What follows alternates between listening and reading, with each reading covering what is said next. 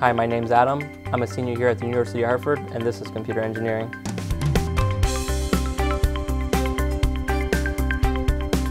Computer engineering is basically a combination of electrical engineering knowledge and the computer science knowledge combined in one. Computer engineering students uh, take a lot of fundamental circuits and electronics, similar to electrical engineering students. Not only am I getting the electrical engineering classes such as circuit analysis, electronics, but I'm also going to get the microprocessor side of things. So I'm going to learn how these computers work, computers that you might have at home, but also how microelectronics work themselves that have embedded electronics and microcontrollers and SOCs and ICs in general.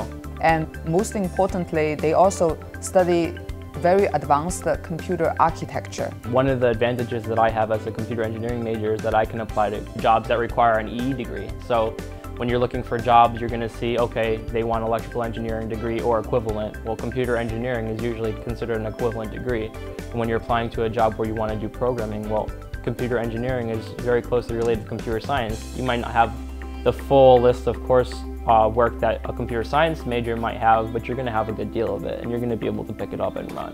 A computer engineering major would definitely allow me to work on any sort of computer control systems for engines, planes, helicopters, uh, ships, things like that. Really any sort of company that makes any sort of electrical technology, computer engineering can fulfill a career position. Our computer engineering students uh, tend to have a wide range of internship opportunities. Because of their programming skills, computer engineering students actually have one of the highest starting salary among all engineering disciplines. It's usually, the range is usually between 70K to 80K.